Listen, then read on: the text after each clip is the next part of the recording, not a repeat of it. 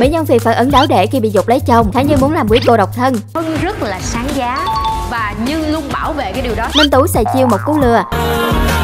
Chạy về nơi phía anh uh, Uber right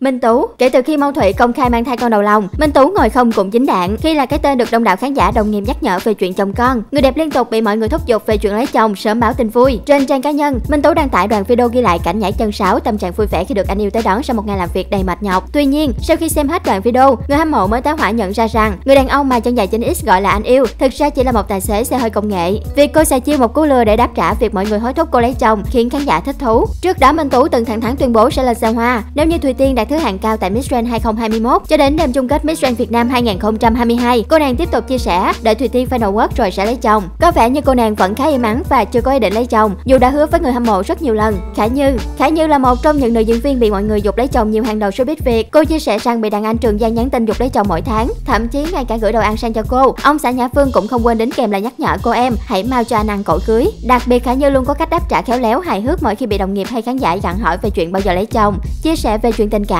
người đẹp cho biết cô cảm thấy rất hạnh phúc, hài lòng với cuộc sống độc thân của mình. Bích Phương, mặc dù đã bước sang tuổi U30, Bích Phương vẫn mãi chưa chịu theo chàng dày dinh và điều này khiến fan người thân của nữ ca sĩ sốt ruột, lo sốt phó. Đặc biệt người hâm mộ không ít lần cười lăn cười bò trước màn công khai dục cưới của mẹ chủ hit bao giờ lấy chồng. Khi nhiều lần bị mẹ dục lấy chồng, nữ ca sĩ đã có màn đáp trả mẹ một cách khéo léo, hài hước. Trong mắt người hâm mộ, Bích Phương là một quý cô độc thân vui tính, đắt giá của làng giải trí Việt. Sam, nữ MC kim diễn viên đình đám của làng giải trí Việt Sam cũng là một trong những mỹ nhân bị gia đình đồng nghiệp thúc giục đẩy nhanh tiến độ chuyện chồng con. Người đẹp chính thổ lộ rằng cô từng rơi vào trạng thái ngại ngùng, áp lực khi bị mọi người hỏi về chuyện bao giờ lấy chồng. Tuy nhiên Sam cũng hiểu rằng mọi người quan tâm lo lắng đến chuyện trăm năm của mình nên mới hỏi. Trong một lần chia sẻ với giới truyền thông, người đẹp Sài Thành từ tốn cho biết cô tập trung toàn lực vào công việc, chuyện yêu đương và kết hôn nên lùi lại thêm chút ít. Mỹ Tâm, Mỹ Tâm sinh năm 1981, được xem như một tượng đài âm nhạc của Việt Nam. Sự nghiệp của cô thành công rực rỡ, thành tích đếm không xuể. Thế nhưng dòng ca 8X trước nay luôn là người không phô trương thành tích, lại càng kính tiếng trong chuyện đời tư hơn cả. Mỹ Tâm vướng vào scandal tình ái với Mai Tài Phến, cả hai bắt đầu thân thiết quan tâm nhau nhiều hơn sau khi hợp tác trong phim điện ảnh chị trợ lý của anh.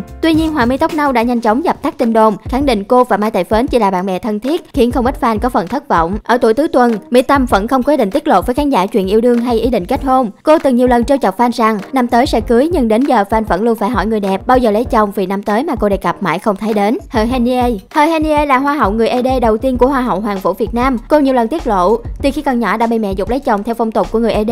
Tuy nhiên, người đẹp đã kiên trì với việc học và mở rộng con đường sự nghiệp của mình. Đàn hậu liên tục bị fan đặt câu hỏi bao giờ lấy chồng, mặc dù công khai với báo giới khẳng định mình đã có bạn trai. Thời Henie khẳng định ở độ tuổi này vẫn còn quá trẻ để lên xe hoa. Giờ đây cô chỉ muốn tập trung cho sự nghiệp và gia đình. Minh Tú, Khả Như, Bích Phương, Sam, Mỹ Tâm là những mỹ nhân Việt được đông đảo đồng nghiệp người hâm mộ mong ngóng về chuyện bao giờ họ sẽ lấy chồng. Đặc biệt phản ứng của họ khi đáp trả những lời thúc giục về chuyện kết hôn được công chúng tán thành không mất lòng ai. Thật mong trong tương lai gần, những mỹ nhân Việt này sẽ nhanh chóng báo tin vui với tất cả mọi người. Tham gia bình chọn phim và diễn viên yêu thích tại Dan Movie and TV Beat, nhận ngay cơ hội gặp gỡ các nghệ sĩ tại hai đêm công bố kết quả. Truy cập website điện ảnh.net xuyệt DMTV hoặc bình chọn trên các fanpage của chương trình. Thời gian bình chọn diễn ra từ ngày 1 tháng 11 đến ngày 6 tháng 12 2022. Vote online, so your style.